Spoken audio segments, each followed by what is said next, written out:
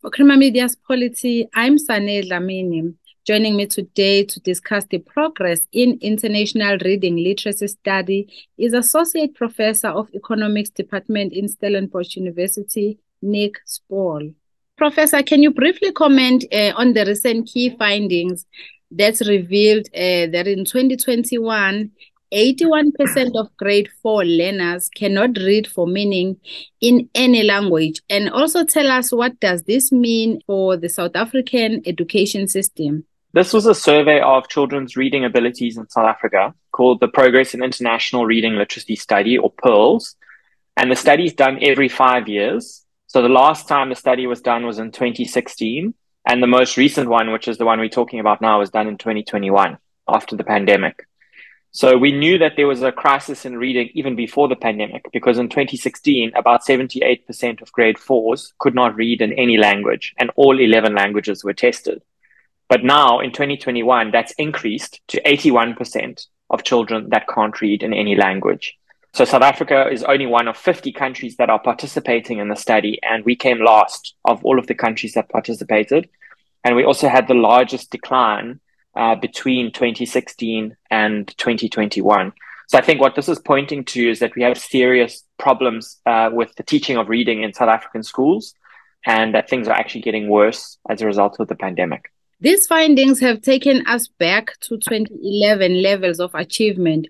What would it take uh, to improve to at least reasonable figures, given that our basic education department has no catch up plan in place? So I think what you mentioned there is a really important one that we don't currently have a plan. Um, so there's no current national reading plan. There's no budget for this. And I think if you don't have a plan and you don't have a budget, there's not going to be any progress. So I think the three main components of a plan uh, would be making sure that every single foundation phase classroom in the country is equipped with a minimum set of resources. So teachers, uh, in the same way you can't learn how to play soccer without a football, uh, without a, a, soccer ball, you can't learn to read without books uh, and and specific kinds of books, not just any books. You need graded readers that sort of structure things in a phonically sequenced way so that the stories go from easy to hard, uh, and they need to be grade appropriate. Um, they also need to be cognizant of the way that a language is structured. So if you think of a, a language like Sepedi or Sesotho, it's written down very differently to isiZulu or isiNdebele or Siswati, uh, which have much lo- lots of long words whereas the Sotho languages have lots of short words. And helping children to be able to decode and understand the, the languages that they're reading uh, and the languages that they speak is really important. So that's the first one is resources. The second one is we have to retrain our teachers. So most teachers in South Africa were actually trained under apartheid. So more than 50% of teachers uh, are 50 years or older, which means that they're going to retire in the next 10 to 15 years. But it also means that they were trained under apartheid. Um, and they weren't taught on the specifics of how you actually teach children to read. So if we take you, for example, just because you can read or I can read doesn't mean necessarily that we can teach someone how to read. Uh, there's a very specific knowledge that you need to teach children how to read. It's not rocket science, but it's not as if anyone can do it. And at the moment, most of our teachers don't actually know how to teach reading. Uh, so they would need to be retrained. And then lastly, you would need an assessment. So if you don't have an assessment testing uh, each, each and every school in the country, at, for example, the grade three level, we wouldn't be able to figure out which are the schools that need the most support uh, and which are the ones that we need to monitor most closely. So if you think of in January every year when the matric results come out, there's a huge jamboree about the matric results. Which province came best? Which one is declining? Is the pass rate going up? Is the pass rate going down? We don't have any of that conversation about early grade reading. And part of that is because we don't have a test at the primary school level, a standardized test that every single school participates in, like every single high school writes matric. We only actually have that in the Western Cape where there's a test for every grade three, every grade six, and every grade nine. But for the other eight provinces, we don't have those. Who is to blame? I'm less interested in sort of trying to figure out who's to blame for this. I think that there's um, a lot of people and a lot of decisions that were made that led to it. I think school closures and rotational timetables at the beginning of the pandemic made sense uh, when we didn't know, you know, were children going to die from COVID? How infectious was it? You know, all of those unknown questions. At the start of the pandemic in 2020, I think everyone agreed we needed to close schools. But even the Ministerial Advisory Committee, halfway through 2021, advised the minister and the department to open schools and let all children go back to schools because the harms to children, their, the cognitive harms, what the learning losses, the socio emotional uh, harm of not being at school, the nutritional harm of not getting a free school meal because you're only coming to school every second day, those harms outweigh the benefits of social distancing. But still, the minister and the department continued with rotational timetables for another six months, and we only ended the rotational timetables in 2022. So I do think that that contributed to the learning losses that we see. But the other other main contributing factor is we still don't have a catch-up plan, right? So we still don't have a plan for how we're going to make up these losses that we've seen. Uh, you know, extraordinary times require extraordinary measures. And we're not doing that. We're just seeing business as usual. Let's just carry on, go back to normal schooling, same number of hours in the day. And I think that's a big problem. Would you agree with the Democratic Alliance? I recently interviewed their uh, shadow minister for basic education, who said, uh, given these results, uh, the minister as well as uh, I think her DG should be summoned to Parliament to present a plan because it is really important. Yeah, I think that is a completely reasonable request. Um, I mean, we live in a parliamentary democracy where the minister uh, yes, she's appointed by the ruling party, but the ruling party is accountable to parliament. Um, so I think it's completely within the rights of the par- parliamentary portfolio committee to summon the minister and the DG and ask them, what is the catch up plan? What is the national reading plan? Where is the budget for catching this up? So I think, yeah, I think that's a completely reasonable thing to do. And it's a reasonable thing as South Africans to expect the minister to have a plan um, and, to, and to bring us into her confidence and tell, her, tell us what that plan is. So the average Brazilian grade 4 child is 3 years ahead of the average South African grade 4 child. What are the methods if you are aware uh, of them professor that are used in Brazil that maybe could benefit our country? So Brazil is a very large country and, and similar to South Africa, it's broken into provinces, although they call them states. And it was a big shocking finding to find out that, you know, the average South African grade four is three years behind the average Brazilian grade four, as you said. Uh, another way of saying that is, is, is, only 19% of grade fours in South Africa could read, whereas in Brazil it was three times higher, 61% uh, of Brazilian grade fours could read. And I think your question about what is Brazil doing that we're not doing is maybe another way of saying, you know, what are the lessons that we can learn from Brazil? And one of the, the states in Brazil uh, called Ceará is one of the poorest states. And over the last 20 years, they've actually, even though they are one of the poorest states, the equivalent of like Eastern Cape or Limpopo in South Africa, but in Brazil, and they managed to focus, ruthless focus on reading. And over 20 years, they t- completely turned the state around. Um, and now it's one of the best performing states, even though it's still a relatively poor state. It's not like it became a rich state and then uh, the reading results improved. And that was a relentless focus on reading. Uh, they made sure that all of the uh, municipal and sort of the finances at the local level were linked to the outcomes and the reading outcomes that were being achieved in that level, uh, and that they measured uh, consistently measured reading over time, so that everyone knew this is the goal that we're moving towards in every single school.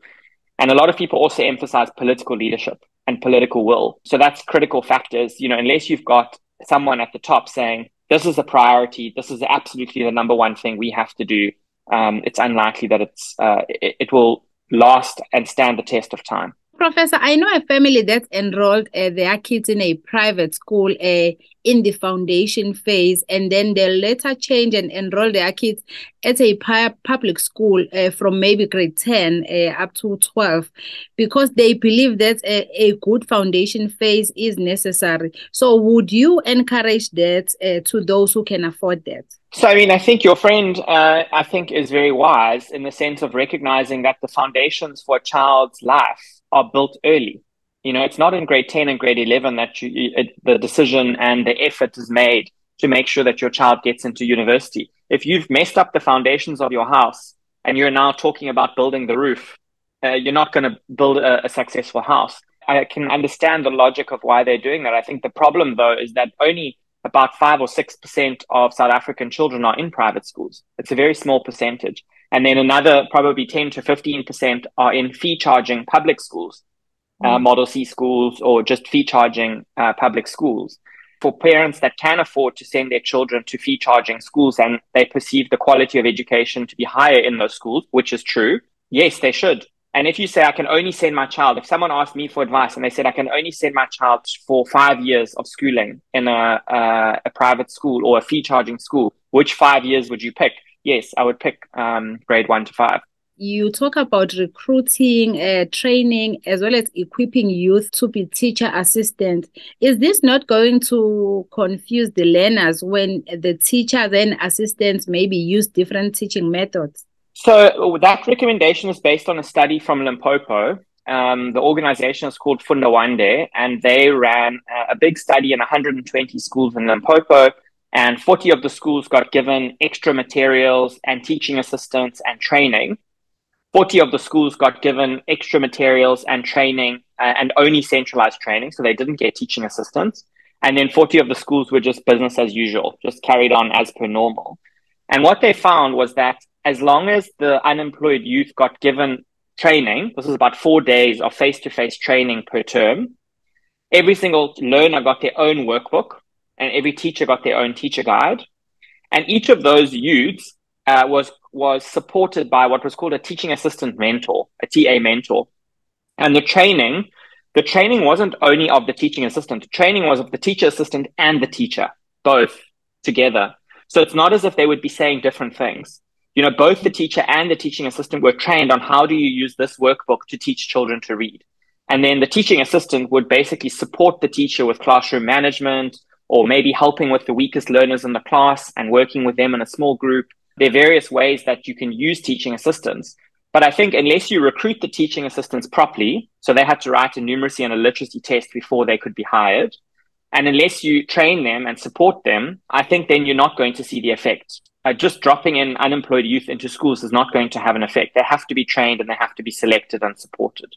The Eastern Cape has rolled out uh, anthologies or, of great readers, uh, which is a set of 20 sequence stories uh, aimed at teaching children to read in their home language uh, to all grade 1 to 3 children from 2019 uh, to 2020.